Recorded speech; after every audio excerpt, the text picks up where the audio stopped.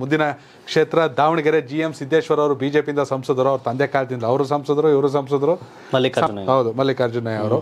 ಈಗ ನೆಕ್ಸ್ಟ್ ನನಗೆ ಕೊಡಿಲ್ಲ ನನ್ನ ಮಗ ಅನಿಸ್ ಸಿದ್ದೇಶ್ವರಿ ಕೊಡಿ ಅಂತ ಹೇಳ್ತಾರೆ. ಮತ್ತೊಂದ್ ಕಡೆ ಡಾಕ್ಟರ್ ಟಿ ಜಿ ರವಿಕುಮಾರ್ ಅವರು ಕೂಡ ತುಂಬಾ ಪ್ರಬಲ ಇಲ್ಲೇನಾಗ್ತಿದೆ ಅಂತಂದ್ರೆ ಜಿ ಎಂ ಸಿದ್ದೇಶ್ವರ್ ನಂದು ಇದೇ ಕಡೆದು ನಂದು ಇದೇ ಕಡೆದು ಅನ್ಕೊಂಡು ಹೇಳ್ಕೊಂಡು ಬಂದು ಇದಾಗಿದ್ದಾರೆ.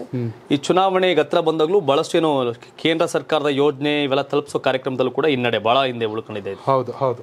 ಬಹಳ ಮಂಡ್ಯ ಕಾರ್ಯಕ್ರಮಕ್ಕಿಂತ ಕಡಿಮೆ ಕಾರ್ಯಕ್ರಮ ಮಾಡವ್ರೆ. ಸೊ ಹಾಗಾಗಿ ಜಿ ಎಂ ಸಿದ್ದೇಶ್ವರ್ ಟಿಕೆಟ್ ಕೊಡೋ ಡೌಟ್ ಮುಗೀತು ಒಂದಂತ ಕಲ್ಲಿ. ಅನಿಸ್ ಸಿದ್ದೇಶ್ವರ್ ಮತ್ತು ಡಾಕ್ಟರ್ ರವಿಕುಮಾರ್. ನಡುವೆ ಟಿಕೆಟ್ ನಡೀತಾ ಐತೆ ಫೈಟ್ಸ್ ಎರಡನೇದೇನು ಅಂದ್ರೆ ವಿನಯ್ ಕುಮಾರ್ ಕಾಂಗ್ರೆಸ್ ಅಲ್ಲಿ ಹೌದು ಇನ್ಸೈಟ್ಸ್ ಅಕಾಡೆಮಿಯ ಮುಖ್ಯಸ್ಥ. ಪ್ರಭಾ ಮಲ್ಲಿಕಾರ್ಜುನ್ ಎಸ್ ಎಸ್ ಮಲ್ಲಿಕಾರ್ಜುನ್ ಅವ್ರ ಪತ್ನಿ. ಪತ್ನಿ. ಬಟ್ ವಿನಯ್ ಕುಮಾರ್ ಏನ್ ಶಾಮ್ನೂರ್ ಫ್ಯಾಮಿಲಿ ವಿರುದ್ಧ ರಾಜಕಾರಣ ಮಾಡೋದು ಈಸಿನಾ ಅಂತ ಕೇಳಿದೆ. ಸರ್ ಜನ ಸ್ಟ್ರಾಂಗ್ ಸರ್ ಇಲ್ಲಿ. ನಾನು ಇಂಟರ್ವ್ಯೂ ಮಾಡಿದ್ನಲ್ಲ ವಿನಯ್ ಹೌದು ಹೌದು ಬಂದಿದ್ರು. ಹಾಗಾಗಿ ವಿನಯ್ ಕುಮಾರ್ ಟಿಕೆಟ್ ಪಡೆಯೋ ವಿಚಾರದಲ್ಲಿ ಒಂದು ಕೈ ಮುಂದೆ ಇದ್ದಾರೆ ಅವರು ಕುರುಬ ಸಮುದಾಯಕ್ಕೆ ಸೇರಿದವರು. ಕುರುಬ ಸಮುದಾಯದ ಮತಗಳಲ್ಲೂ ಕೂಡ ನಿರ್ಣಾಯಕ ಇದೆ ದಾವಣಗೆರೆಯಲ್ಲಿ. ಹೈಯಿಂದ ಓಟ್ಸ್ ದೊಡ್ಡ ಮಟ್ಟಕ್ಕೆ ಹೌದು. ಸಿದ್ದರಾಮಯ್ಯ ಸಪೋರ್ಟ್ ಇದೆ. ದೊಡ್ಡ ಮಟ್ಟಕ್ಕಿದೆ ಎಸ್ ಎಸ್ ಮಲ್ಲಿಕಾರ್ಜುನ್ ನಿಂತೆ ಸೋತವರಲ್ಲ. ಹೌದು. ಹೌದು. ಇಲ್ಲಿ ದಾವಣಗೆರೆ ನೋಡಿ ಈ ಹಿಂದೆ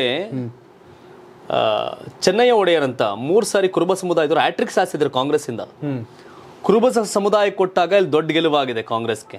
ಹ್ಯಾಟ್ರಿಕ್ ಹ್ಯಾಟ್ರಿಕ್ ಲಿಂಗಾಯತರಿಗೆ ಕಾಂಗ್ರೆಸ್ ಟಿಕೆಟ್ ಕೊಟ್ಟಾಗ ಇಲ್ಲಿ ಗೆಲುವಾಗಿಲ್ಲ. ಶಾಮನೂರ್ ಎಲ್ಲ ಒಂದ್ಸರಿ ಗೆದ್ದಿದ್ ಬಿಟ್ರೆ ಸೊ ಹಾಗಾಗಿ ಹಿಂಗ್ ಬೇಕು ಅನ್ನೋದು ನಡೀತಾ ಐತೆ ಚರ್ಚೆ. ಅಂದ್ರೆ ವಿನಯ್ ಕುಮಾರ್ ವರ್ಸಸ್ ಪ್ರಭಾ ಪ್ರಭಾ ಮಲ್ಲಿಕಾರ್ಜುನ್. ಬಟ್ ಏ ಶಾಮನೂರ್ ಮುಂದೆ ತಗೋತಾರ ಟಿಕೆಟ್? ಮುಂದೆ ಮುಂದೆನವರು ಇಲ್ಲ. ಏ ವಿನಯ್ ತಗೋಬಹುದು ಟಿಕೆಟ್ ಅನ್ನೋ ಅಂತ ಬಂದ್ ನಿಂತಿದೆ ಈಗ. ಕಾಂಗ್ರೆಸ್ ವರ್ಸಸ್ ಬಿಜೆಪಿ ಹಣಾಹಣಿ ಇದೆ. ನೋಡ್ಬೇಕೇನಾಗತ್ತೆ ಅಂತ. ಬಟ್ ಈ ಕ್ಷೇತ್ರ ಬಿಜೆಪಿ ತೆಕ್ಕೆಯಲ್ಲೇ ಇದೆ. ಹೌದು.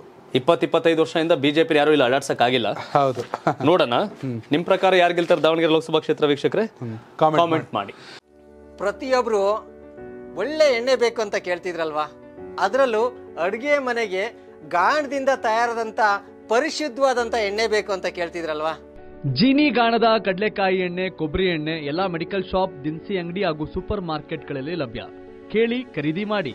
ನೆನ್ಪಿರ್ಲಿ, ನಿಮ್ಮ ಮನೆಯಲ್ಲಿ ಆರು ತಿಂಗಳ ಪಾಪು ಇದ್ರೆ ಅದು ನೆಮ್ಮದಿಯಾಗಿ ನಿದ್ರೆ ಮಾಡಬೇಕು ಅಂದ್ರೆ ಜೀನಿ ಸರಿ ಇಟ್ಟು ಕೊಡಿ. ಬೆಳಗ್ಗೆ ಎದ್ದ ತಕ್ಷಣ ಮಕ್ಕಳಿಗೆ ಏನು ತಿಂಡಿ ಮಾಡ್ಕೊಡ್ಬೇಕು ಅಂತ ಯೋಚನೆ ಮಾಡ್ತಿದ್ದೀರಾ? ಮಕ್ಕಳಿಗೆ ಉತ್ತಮ ಆಹಾರ ಅಂತ ಅಂದ್ರೆ ಸಿರಿಧಾನ್ಯದಿಂದ ತಯಾರಾದಂಥ ಆಹಾರ. ಗರಿಗರಿಯಾದ ಮಸಾಲ ದೋಸೆ, ರಾಗಿ ದೋಸೆ ಹಾಗೂ ಇಡ್ಲಿ, ಪಡ್ಡು, ಉಪ್ಪಿಟ್ಟಿನ ಜೊತೆ ಚಪಾತಿ ಹಿಟ್ಟು ಸಹ ಜೀನಿ ಬ್ರ್ಯಾಂಡ್ನಲ್ಲಿ ಸಿಗುತ್ತೆ. ನೆನ್ಪಿರ್ಲಿ ಬಿಪಿ ಶುಗರ್ ಕಂಟ್ರೋಲ್ ಆಗಬೇಕಾದ್ರೆ ಜೀನಿ ಕುಡಿಯಿರಿ